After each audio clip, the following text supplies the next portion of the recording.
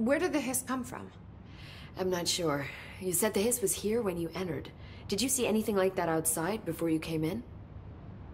No. No, just inside. The source is internal then.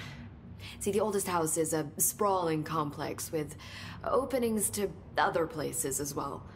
I don't even know where to start looking. But in the context, it's good news. The lockdown holds. The hiss escaping the building would be the end. Pretty shitty world out there if you ask me, but I wouldn't want the hiss to destroy it. With you on that, Emily.